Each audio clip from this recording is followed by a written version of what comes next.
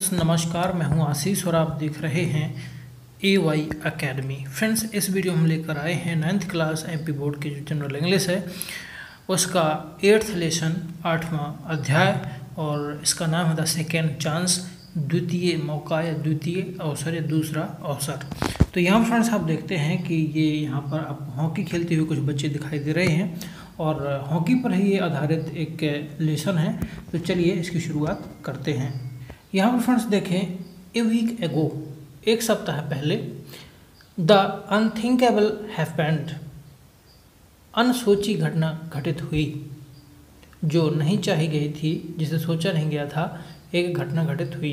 Sudhir who played left out in the schools hockey team जो, सुधीर, जो school की hockey team में खेला करता था थ्रू अवे ए क्रशियल गोल उसने एक महत्वपूर्ण गोल को छोड़ दिया। Not only did his team lost the match न केवल इससे उसकी टीम ने मैच को मैच हार गई it also lost the coveted inter school trophy बल्कि अंतर विद्यालयीन होने वाली ट्रॉफी भी उनके हाथ से निकल गई। जो अंतर विद्यालयीन ट्रॉफी प्रतिष्ठित ट्रॉफी थी उसको भी वो हार गए। For many days afterwards काफ़ी दिनों के पश्चात, काफ़ी दिन बीत गए, Sudhir relived the nightmare Sudhir एक बुरे सपने में जी रहा था। यानी कि सुधीर लगातार हारने के पश्चात बुरे बुरे सपने देख रहा था। उसकी लाइफ स्टाइल बिल्कुल अलग हो गई थी। Baljit the tough well respected जो बहुत ही सख्त और बहुत ही सम्मानित कोच थे had denied dinned it into their heads a good hockey player must convert the half chance यहाँ पर उन्होंने कहा डिनड डिनड का जो शाब्दिक अर्थ होता है, वो होता है शोर मचाना या चिल्लाना। कोच हैड डिनड चिल्लाए it into their heads उस पर। ए गुड हॉकी प्लेयर कि एक अच्छा हॉकी खिलाड़ी must convert the half chance half chance में कन्वर्ट कर सकता है। मौके को कम से कम हाफ़ चांस में कन्वर्ट कर सकता है। यानी कि आधा चांस उसके पास होता है और यदि वो चाहे तो उस गोल को कर सकता है। हाफ़ चांस आधा मौका। Sudhir had missed a sitter Sudhir ने गोल छोड़ दिया। गोल करने का जो मौका था सिटर मीन्स होता है गोल करने का मौका, उसको मिस कर दिया, छोड़ दिया। It was a perfect lob from Rajveer it was perfect lob from Rajveer जो राजवीर के लिए एक अच्छा अवसर था। आगे देखें the team's back the team's back team के पीछे having slipped through the defence defence करने पर, रक्षा करने पर, फिसल जाने पर, the ball was is an ideal scoring position. जो बॉल थी, वो एक उचित गोल करने की जगह पर थी। Not too angular. वहाँ पर किसी तरह का कोई कोण नहीं था। A gentle scoop by changing the body posture. एक जो खिलाड़ी था, उसने अपने शरीर का जो पोस्चर था, उसको बदला। और a crack to the net from a better hitting position would have seal the score और उसने बहुत ही बढ़िया तरीके से किक मारा और जो हिटिंग पोजीशन और उस स्थिति में उसने हिट किया और स्कोर को गोल कर लिया। यानी कि जो बॉल थी उसको गोल कर दिया। आगे फ्रेंड्स इसका जो लेसन है, उसे आप देखें। The goal keeper had charge early जो गोलकीपर था had charge early leaving the goal goal post not just undefended goalkeeper रक्षा करने में असफल रहा but positively wide open and welcoming उसने जो गेट थे वो पूरी तरह से खोल दिए थे। पॉजिटिवली वाइड ओपन काफ़ी विस्तार हो गया था एंड वेलकमिंग और गोल मारने के लिए बहुत आसानी थी क्योंकि उसको गोल कीपर काफ़ी जगह थी गोल गोल कीपर के यहाँ से निकालने के लिए। इन दैट सिंगल मिनट एक ही मिनट में the defence seemed to move almost in slow motion लेकिन उसी क्षण जो डिफेंस था, जो रक्षक था, वो धीमा हो गया। Lazily the second slid past giving Sudhir ample time to choose a scoring position बड़े धीरे से the second slid lazily the second slid past giving Sudhir ample time to choose the scoring position scoring position यानी कि जहाँ से goal किया जाना था, उस स्थिति को पाने के लिए सुधीर के पास में प्रचुर मौका था, प्रचुर समय था, जो वहाँ पर पहुँच कर बहुत अच्छी तरह से उसको गोल कर सकता था। Then for no apparent reason उसके पास ऐसा कोई स्पष्ट कारण नहीं था। He decided to use the reverse flick उसने निश्चय किया कि उल्टा उसमें फ्लिक मारा जाए। For which he had earned a sort of reputation और ताकि उसे काफ़ी प्रतिष्ठा प्रतिष्ठा अर्जित करने के लिए उसने बॉल पर रिवर्स फ्लिक उल्टा झटका मारने का प्रयास किया, ताकि उसे प्रतिष्ठा मिल सके। Part of it was the desire to show off. हालाँकि यह उसकी इच्छा दिखावे की थी। शो ऑफ़ का मतलब होता दिखावा करना, डिज़ायर माने इच्छा। The other part was the challenge, और जो दूसरा हिस्सा था, वो काफ़ी चुनौती भरा था। The risk is raising the level of difficulty. कठिनाई का जो स्तर था, वो लगातार गंभीरता को बढ़ा रहा था। रिज़ल्ट परिणाम यह हुआ, the ball hit the board from the outside ball ने बोर्ड को बाहर से हिट किया। A sure goal was wasted और रेदर थ्रोन अवे एक जो निश्चित गोल था, वो खराब हो गया और रेदर थ्रोन अवे और बॉल जो थी, वो हमेशा वो दूर चली गई। यानी कि जो गोल था, उसका होना कैंसिल हो गया। अब वो गोल नहीं हो सकता था पूर्ण तरह वेस्ट कर दिया गया था गोल को। अच्छा मौका था कि उस गोल को बॉल को गोल किया जा सकता था। आगे यहाँ पर देखें, the crowd bayed for his blood. यह देखकर जो भीड़ थी, उसका खून खोलने लगा। His team mates would gladly have strangled. उसके जो टीम मेट्स थे, उस पर चिल्लाए। An angry Baljit. और एक जो क्रोधित बलजीत था, ordered him to sit out the rest of the game. और उसने आदेश दिया गेम से बाहर बैठने के लिए, आराम करने के लिए। For a week Sudhir avoided the field एक सप्ताह तक जो सुधीर है, वह खेल के मैदान को टालता रहा। His team mates would gather for practice उसके जो साथी थे, वो अभ्यास के लिए वहाँ पर इकट्ठे होते थे। But he lacked the courage to go in the in there amidst and face the hostility लेकिन उसके पास में इतना साहस नहीं था। लैक्ड का मतलब होता है खो जाना। लेकिन उसके पास में इतना साहस नहीं था टू गो इन देयर मेस्ट कि उनके बीच में जा सके एंड फेस द हॉस्टिलिटी और उनके जो शत्रुता है, उनका जो विरोध है, उसका सामना कर सके एंड कंटेम्प्ट और उनकी जो निंदा का सामना कर सके। कंटेम्प्ट मीन्स होता है निंदा और हॉस्टिलिटी मीन्स होता है शत्रुता या विरोध। That he felt he would be subject to जैसा वह महसूस कर रहा था। Sudhir why have you not been attended attending practice Sudhir तुम अभ्यास में शामिल क्यों नहीं होते हो? ए वॉइस इंटरप्ट एक आवाज़ आई हिज ब्रूडिंग वह सोच रहा था, वह सोचता रहा I have not been well मेरा स्वास्थ्य ठीक नहीं है ही मम्बल वह बुदबुदाया. Isn't that just an excuse for hiding after disgraceful performance अपनी निराशाजनक परफॉर्मेंस को छिपाने के लिए यह एक अच्छा बहाना नहीं है।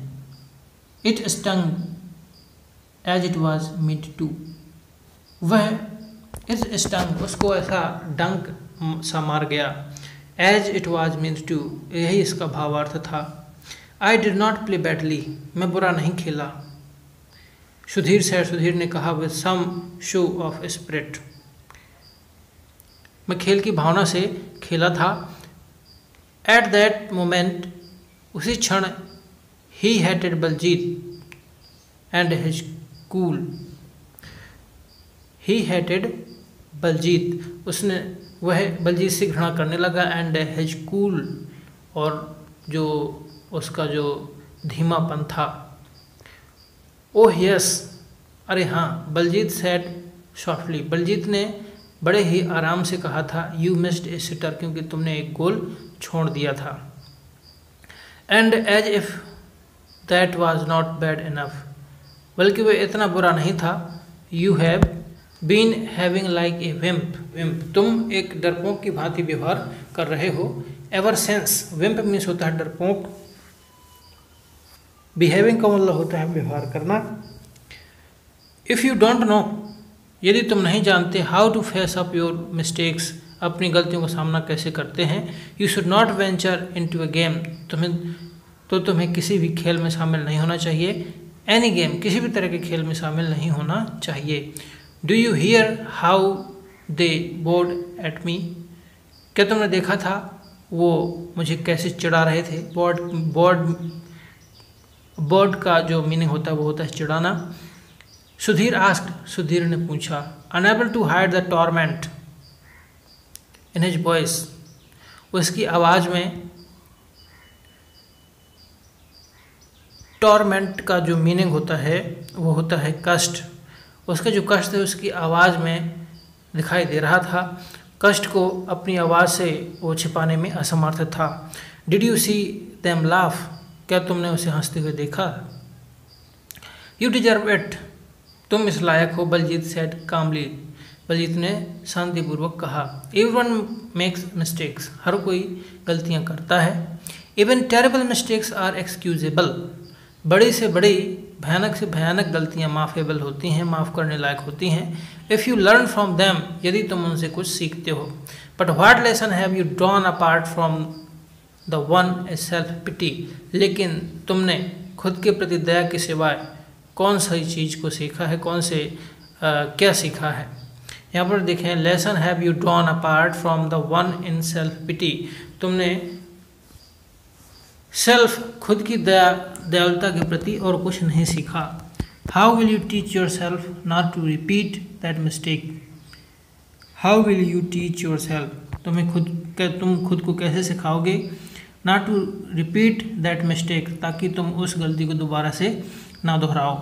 नॉट बाई अवॉइडिंग प्ले न कि तुम्हें खेल बंद करना चाहिए, खेल को टालना चाहिए।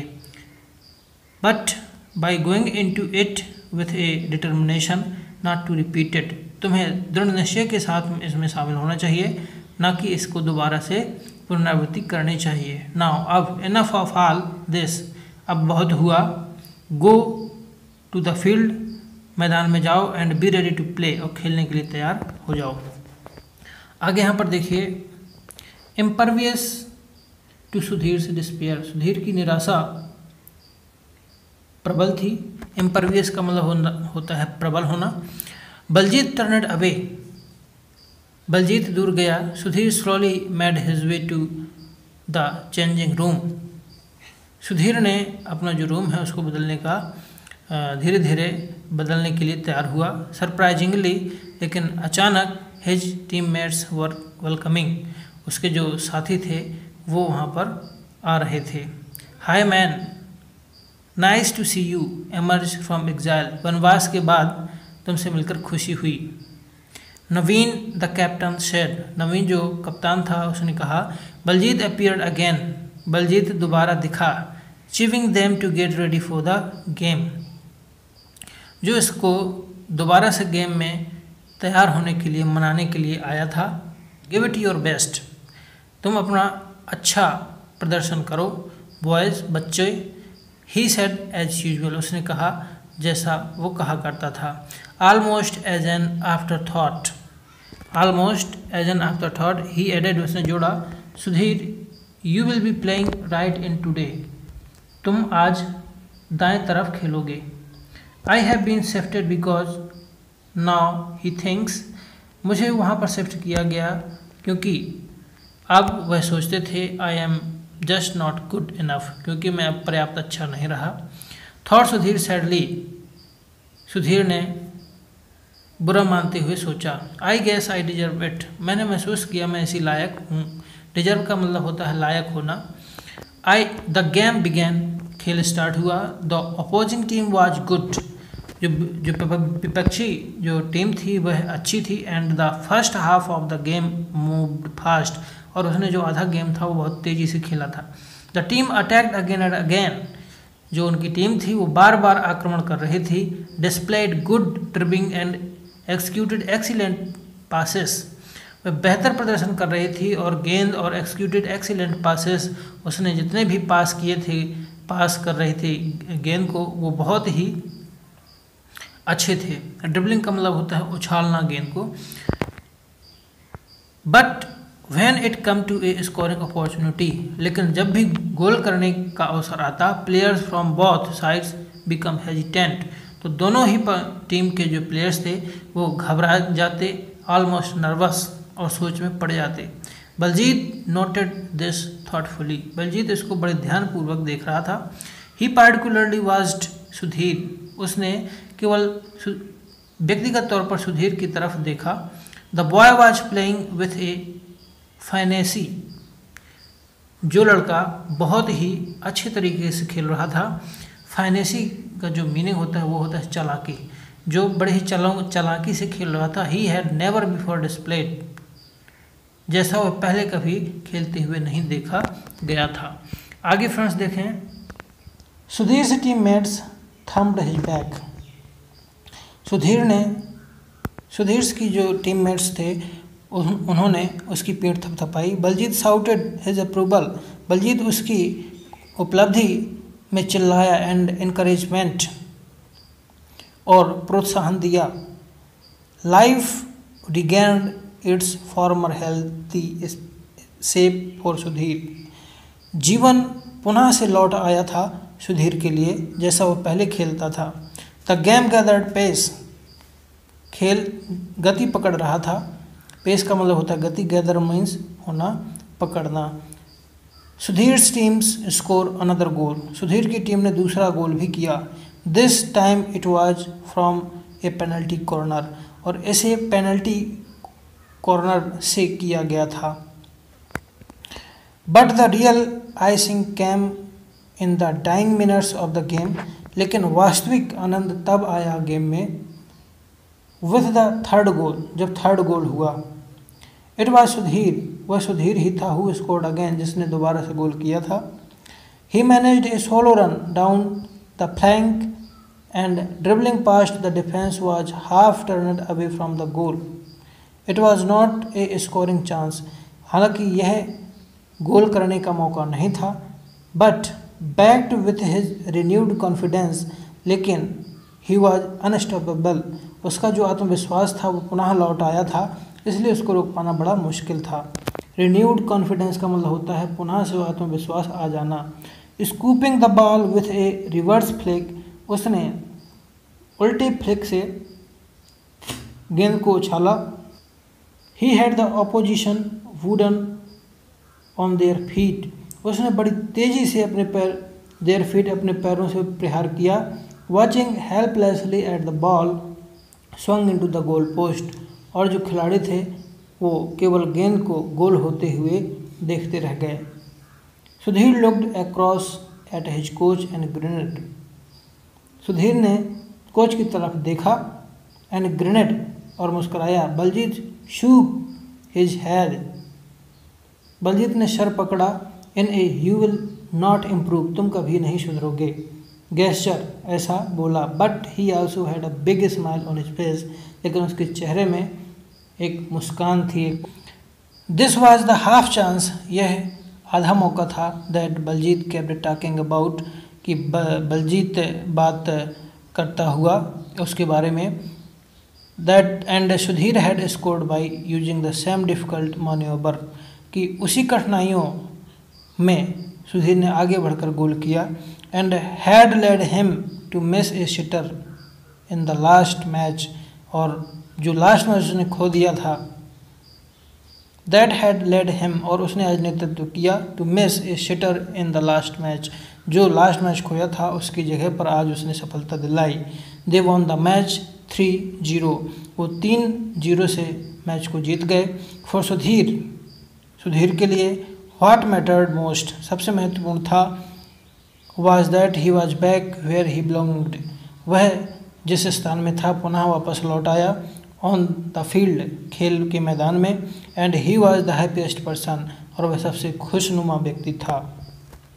तो ये फ्रेंड्स आप देखते हैं कि ये एक लेसन है। इसके जो कुछ मीनिंग है, बहुत ही छोटे छोटे हैं, लेकिन बड़े अजीब से हैं। उनको आप लिख लें, और हालाँकि जो भी मीनिंग्स हैं, उनको मैंने आपको बताया है। फिर भी यदि आपको ऐसा लगता है कि कोई मीनिंग्स हमको समझ में नहीं आया तो आप हमें कमेंट करके लिख सकते हैं। हम उनका जवाब आपको ज़रूर देंगे। फ्रेंड्स इस वीडियो को देखने के लिए आपका बहुत बहुत धन्यवाद। आपका दिन शुभ हो।